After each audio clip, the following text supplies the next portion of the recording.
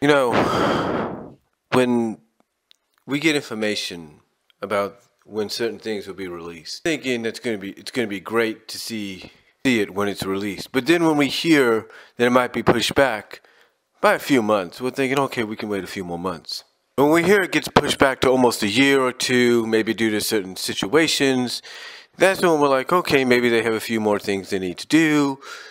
Production wise, maybe they're behind something. We don't really know. Now, the Archie Sonic comic books have definitely gone through a lot over the past several months. The last issue that we got this year was about 290, I believe. For me, at least, it was 290. And there's a lot more that needs to be founded. Apparently, some websites, comic websites, have removed the subscription option, and some have changed. Have they still have it, but sometimes the dates could be indifferent. One commenter sent me a link to a shared file through the Steam community. Apparently, this caption, this picture caption that they sent me, the screenshot was intriguing. Now, the subscription for Sonic the Hedgehog was up there, so apparently the comic's still around. But it said something that really disturbed people or at least disturbed this reader, this fan, this commenter. And what disturbed them was the fact that it said the next release date would be December 27th, 2017. Now, I kind of hard find that hard to believe that that would be the next release date. I really do. Sometimes when people show screenshots, they could sometimes use different software to modify said screenshot just to mess with people. And if that is the case with this screenshot, I'll provide the link below. You can judge for yourself. Then whoever did this, I asked that person why. I mean, I understand the Sonic fan base can be a little overbearing. It could be controversial. It, be, it could be the kind of fan base that you're like, why are you guys even in existence? Why are you guys even around? Why do you have such a passion? And, you know, those could be, I guess, valid reasons in their mind. So let's say that this is a fake one, and somehow someone modified it to make it look real. Unless Archie Comics themselves come out and say that December 27th, 2017 is the legit release date for the next Sonic subscriptions, for the next Sonic issue, unless Archie Comics comes out and says it themselves, then I, I find it hard to believe. I really do. Now, with that said, even though I find it hard to believe, unless Sega and Archie come out and officially say something, I will play advocate here and basically look at the possibility that it could be real. Now, if this release date of December 27th, 2017 is real, there could be several reasons for it. One, one is what I've said before. See, I mentioned before in an, in an off-screen video that it did before I went into work, or during a break at work, or whenever.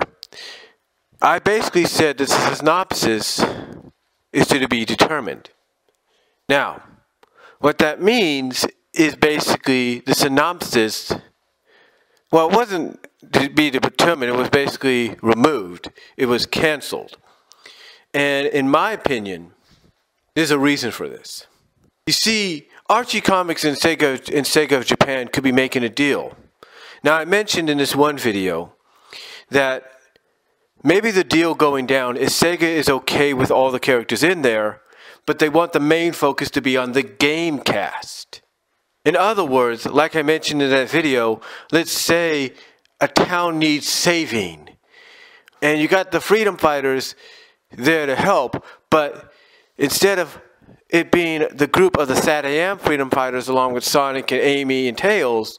Instead, maybe Sega's trying to work out a deal towards like, yeah, you could have the Freedom Fighters help, but the main savers, the main heroes that save everything and save the day need to be Sonic, Amy, Tails. The game cast need to be the ones that do it. Maybe that's that's why. Maybe that's the reason for the change. Maybe a lot of the synopsis for stories that Ian Flynn, Aleah Baker, all the writers in between, the creative staff had going is probably being changed around to where now you could have the same stories, but instead of the focus being on other characters, it's on the game cast only. And if that is the case, I've got a question to ask Sega. You got Sonic Forces coming out. You have Sonic Mania coming out. We get the fact that the Gamecast is your bread and butter. We get that. You don't have to constantly shove it down our throats. We get the fact that the Gamecast is your bread and butter. But what's made the comic so successful is the fact that it doesn't focus on just the game proportion, the game proportion of the franchise. No, it expands upon it. And you, Sega, need to understand that. That this is a different avenue. Not everything has to be like the games. I mean, what, what does Sega want if this next release date for the comic is legit? What do they want? An issue to be like one level? Be like, okay, Sonic and the Freedom Fighters passed this level on this issue. Tune in next issue to see whether try to pass the next level. And you can get hit to how to pass the levels of the games yourself by what, reading the comics. Seriously. Is that what Archie? Is that what Sega wants in the comics? Because that's stupid. I mean, Ian Flynn, Aleah Baker, and all those that create the stories for the comics, they put as many hints, many references, and acknowledgments to the games that they don't have to do it on a constant basis. And if this is a legit release date, and again, like I said, I find it hard to believe unless Archie and Sega give us some kind of confirmation themselves. If this is a legit release date, 8. Now, it's not Archie that has the explaining to do, it's Sega. I mean, Archie will probably tell us that, yeah, will probably come out and say, if they want to, they'll probably come out and say, yeah, the reason for it is all the stories we had planned, we have to rewrite now. We have to rewrite the synopsis because now we got to focus in this direction and not the direction we wanted to focus in. And that's not good if that's the case. That's not good. You know, a lot of people always wonder why does, you know, why does certain seasons of My Little Pony Friendship is Magic get delayed a little bit? Or why they push so far back instead of starting automatically up? Because maybe there are certain episodes and stories they want to do, but then they can't because they got to either edit it, edit out certain scenes that they created, shorten certain scenes, maybe remove, maybe rework the entire episode as a whole. And and that really pisses people off because it's like, why? Why do this? Let me give you another example. Another example. Smurfs. Lost Village just came out. This movie was supposed to come out earlier last year. Got moved back, moved back, moved back. And why? Well, because of the release of other movies that might dominate it? Maybe. Or maybe it's the fact that one of the main reasons I understood is they had to rewrite certain scenes. They had to reproduce certain scenes in certain moments. Maybe they had to rewrite certain elements of the story because it didn't fit well. That's and it, because of those production behind the scenes situations, Lost Village kept getting pushed back and pushed back until the release date it recently had. Could that be the same situation with Sonic? Because there have been comics in the past. Let's not let's not kid ourselves, people. There have been comics in the past where they have been delayed so much that when they finally arrive, that the synopsis you read for one issue that you get is totally different than this, that the synopsis you read before has changed to a different one. And if that is the case, like I said, then it would explain why the delay is happening. But if I'm Ian Flynn, if I'm Archie Comics, if I'm Sega, Sega overall, I I come out in some shape or form and I explain to the fans, to the subscribers, to the people that support your comic, I explain to them what's going on. By now, we should have been reading Sonic. What, what, what should we have been reading? Let me see.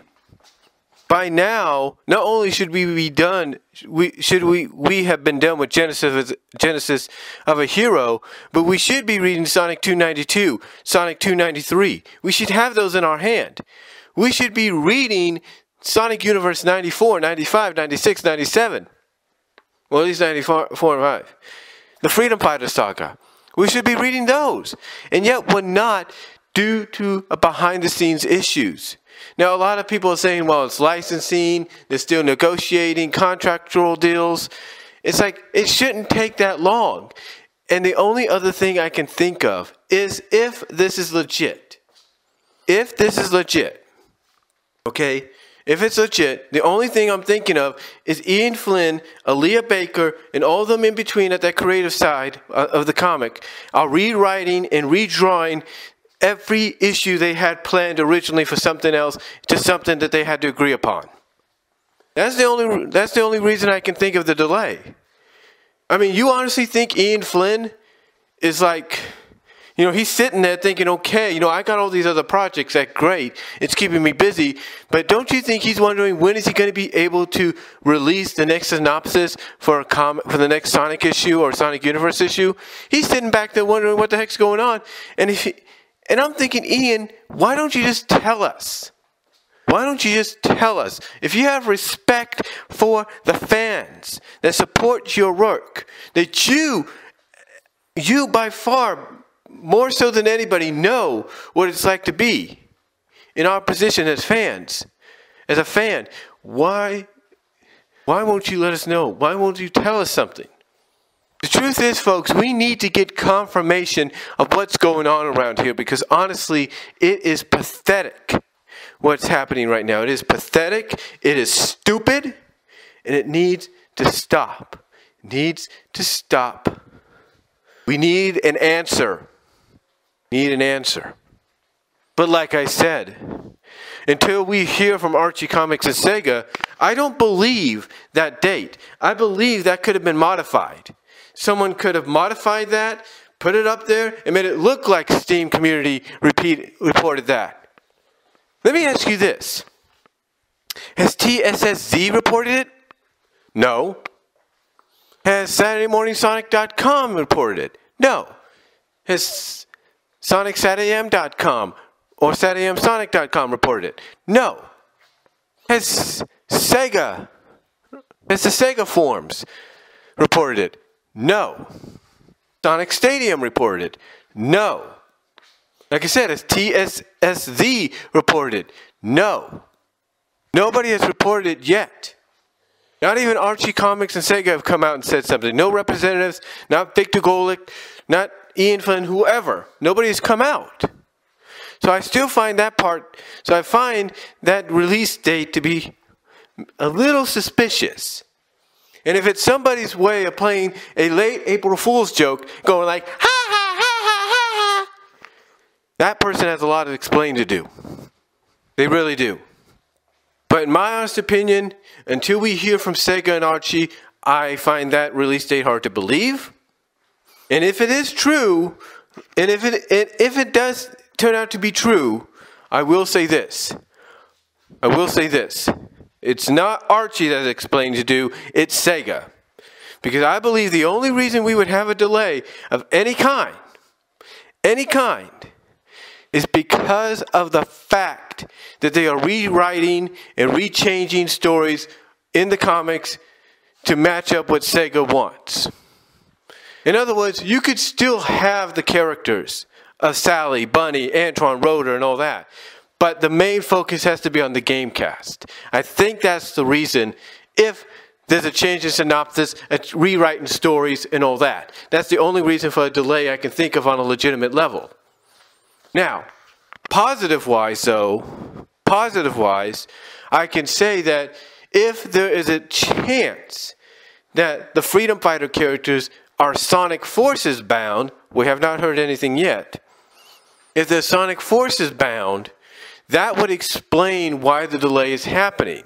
Maybe that's the reason. Maybe they want the comic to be more in line with Sonic Forces and thus be more of a reason to want to see the characters come back because it's like now they're not just a comic book characters, but they're also official game characters finally after 20 something years. 20 basically 25 years, if you will. So that might be the reason too. Maybe maybe they want to save the return of the comic in time for Sonic Forces, and thus not only do you have an avenue to see the SatAM characters in comic form, but now you officially have them in game form if the Sonic Force is bound.